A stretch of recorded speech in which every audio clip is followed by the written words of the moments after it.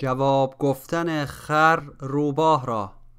گفت از ضعف توکل باشدان ورنه بتهد نان کسی که داد جان.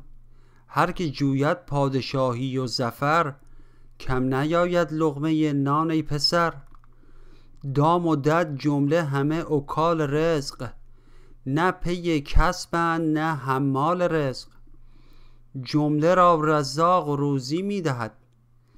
قسمت هر یک به پیشش می نهد رزق آید پیش هر که صبر جست.